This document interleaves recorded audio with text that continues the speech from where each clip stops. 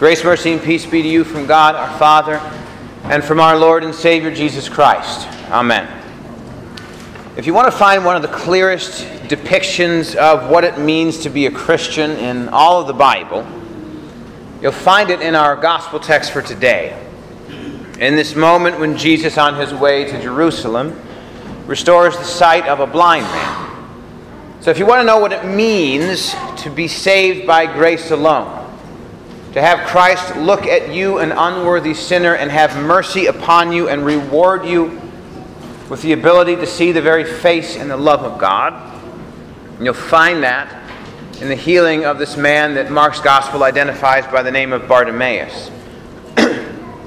but in order to fully understand what's happening when Jesus has mercy on this blind beggar, it helps if we take a look at the last man that Jesus has, had a, has a conversation with.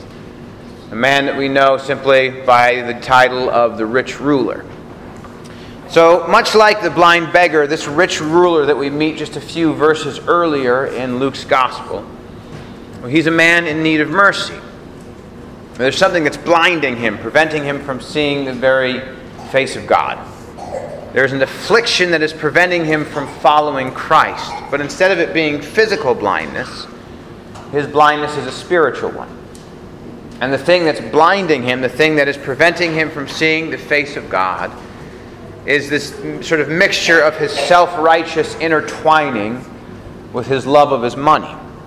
So, as you may remember in this story, this rich young ruler comes to Jesus and he comes boasting of how it is that he's kept all of the commandments and asking how it is that he can inherit eternal life, even though it's quite clear from the context of what he says that he's quite certain that he's done everything he needs to do to earn eternal life. But Jesus looks at him and he says, One thing you still lack sell all that you have and distribute to the poor, and you will have treasure in heaven. And come follow me. But the man loves his stuff so much that he walks away, unwilling to part with the thing that's making him blind. And in his mind, he's basically saying, Look, Jesus, I've already given God enough. I gave him my obedience. I gave him my good works. I gave him my faithfulness. I gave him a whole life devoted to doing what it is the commandments say. So if you're saying that what's blinding me from seeing God is actually the most precious thing in the world to me, the thing that I love more than anything, my possessions, if you're saying that I have to actually give those up in order to have eternal life, in order to see God, then forget it. I've already done enough. And if what I've already given God isn't good enough to see His face, then I'm not going to follow you. I'll just walk away and depart and try to find some other way to convince myself that I can make salvation happen. So, here in the rich young ruler, you have a man who doesn't believe that he actually needs mercy. And because he doesn't believe that he actually needs mercy, he won't accept mercy when Christ offers it. When Jesus offers to give this man eternal riches by taking away from him the one thing that is preventing him from having the riches of God's kingdom, the man refuses because of his love of his earthly riches. But things are quite different with this blind beggar that Jesus meets just a few verses later in Luke's Gospel. So, unlike the rich young ruler, Bartimaeus doesn't come boasting of his own good works. So here you have a man who wants to see the face of God, who wants to have communion with God, who wants to feel and experience and rejoice in the healing and, and love of his Father. But in order to get that, he doesn't come to Jesus boasting of his good works, bragging about how well he's kept the commandments. No, when Jesus asks Bartimaeus what he wants, Bartimaeus just does what someone who believes he needs mercy does. He just asks of Jesus. He says to Jesus, Lord, let me recover my sight.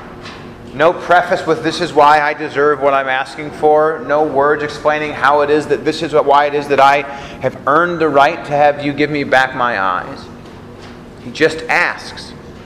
And in calling Jesus the son of David prior to asking to this question, when you sort of combine these two statements of what Bartimaeus is asking and the way in which he addresses Jesus, Bartimaeus is essentially saying, Look, Jesus, I know that you're not just some good teacher like that rich young ruler disparagingly called you, refusing to call you Lord.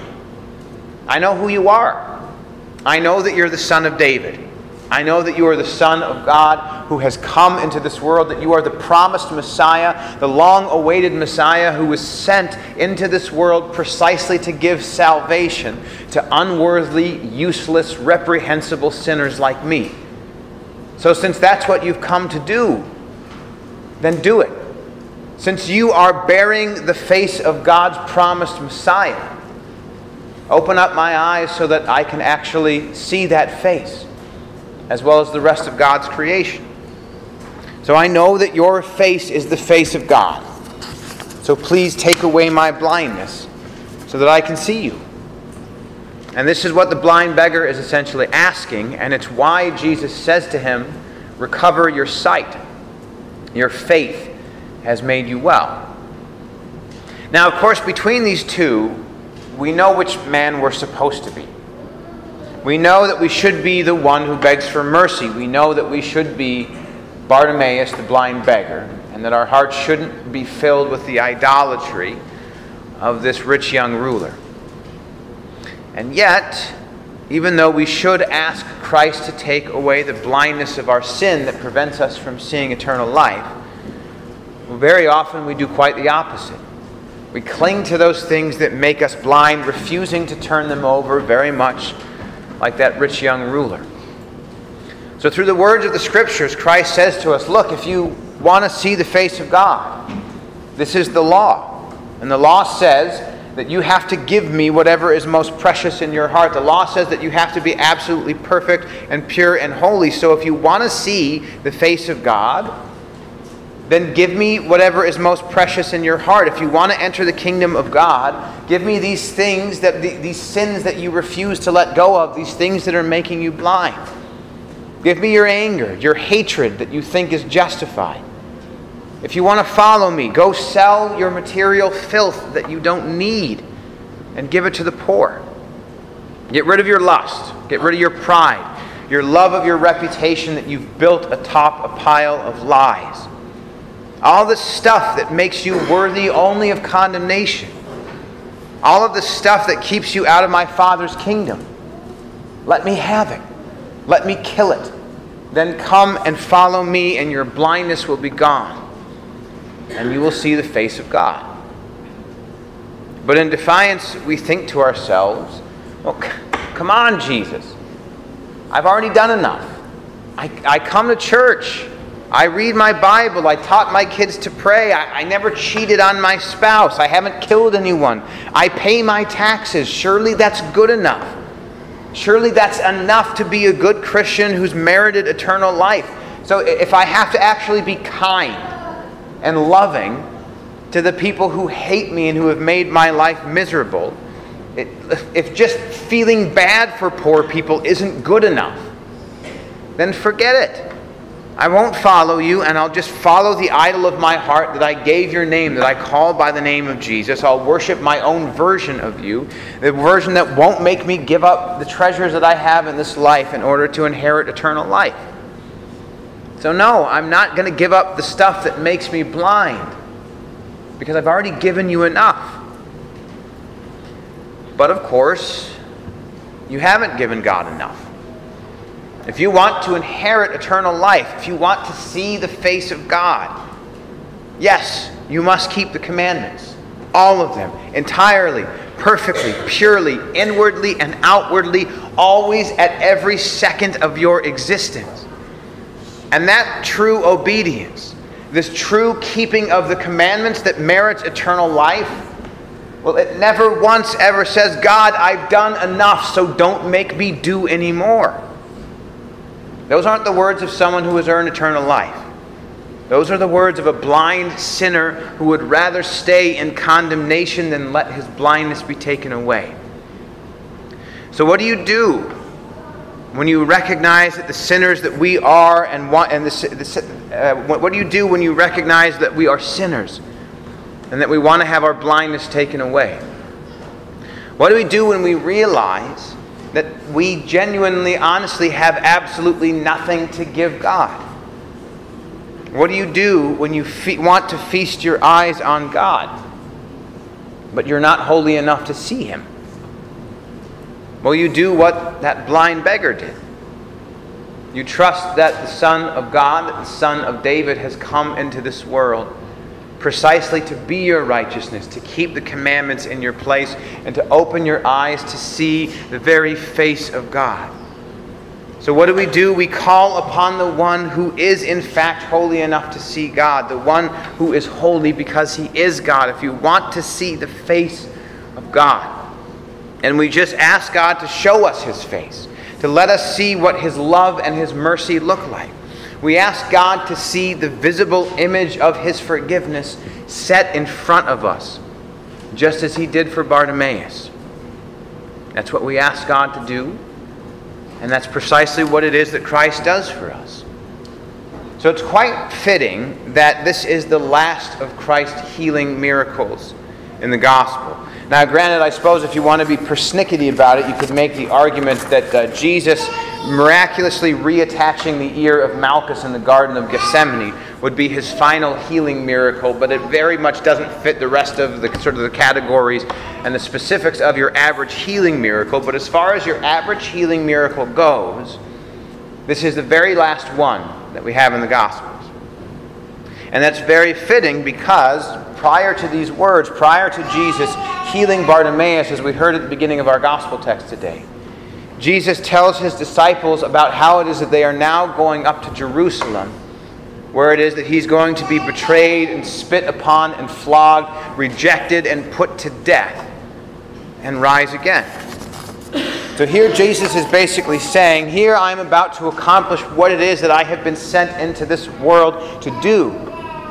And when he comes across Bartimaeus, this man who, de- who desires mercy, it's very fitting that Jesus then opens his eyes just in time for Bartimaeus to see all of this. So, here with this healing, this final healing of Christ, Jesus is basically saying to this blind beggar, You want to see. You want to gaze upon the beautiful face of God. Well, I'll show it to you. Open your eyes, come follow me to the cross, and there you'll see that beauty. There on the way to the cross, you will see the beauty of my face, of God's love, as my face is struck and spit upon in order to win your salvation. There at the cross, you will see the glorious countenance of God as my face is covered in the blood that takes away your sins, that drowns your iniquities, the blood that streams down from the crown of thorns pierced into my brow, along with the nails pierced into my hands and feet. So come with me to the cross, my formerly blind friend, and feast your eyes upon the face of God as the lips on that face draw their final breath and win your salvation. And likewise, Bartimaeus, if you want to open your eyes and see what it looks like for God to welcome you into his kingdom, then follow me to the tomb and watch as that stone is rolled away as I walk out alive, victorious over death, and you will in fact see what it looks like for God to embrace you. Look at that empty tomb and see in my risen flesh that God now welcomes you into an eternity where no blindness, no sorrow, no suffering, no sin, no sickness, no death will ever be able to touch you again in the image of my empty tomb. See that you are no longer a beggar, that you no longer need to ask for anything again, because God freely gives everything to you because you are His Son, covered in my righteousness, covered in the kingdom and the power and the glory of heaven, because I have had mercy on you, because I have done exactly what it is that I came into this world to do for you, because I did exactly what it is that God promised the Son of David would do, because I earned salvation for you and freely gave it to you out of my own love. And now, today, just as Jesus spoke those words to Bartimaeus in healing him and in opening his eyes just in time for Bartimaeus to see what Christ would accomplish at the cross, so today Jesus tells us the very same thing. So today Jesus says to you, Look, you blind sinner, recover your sight and see. what it is that I've already done for you when I went up to Jerusalem. See what I showed Bartimaeus. See what I've already accomplished for you at the cross and the empty tomb.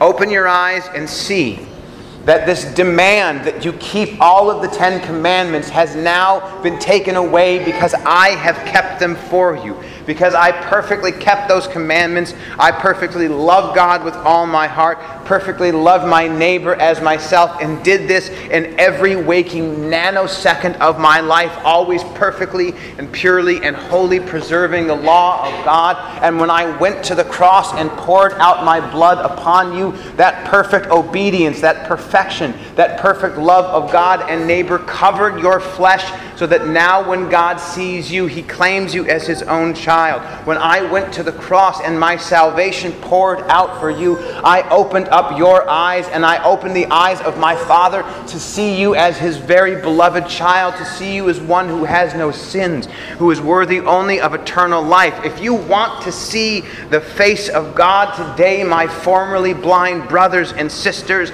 then open your eyes and look to the cross, and there in my countenance, in my bloody, bruised face, you will see it. You will see in the fa- you will see the face of God in the face of the man who took the anger, the pride, the greed that you tried to stop me from taking away from you. You will see the face of God in that man's face dying and making your sins exist no more. And if you want to see what eternal life looks like, then do what Bartimaeus did.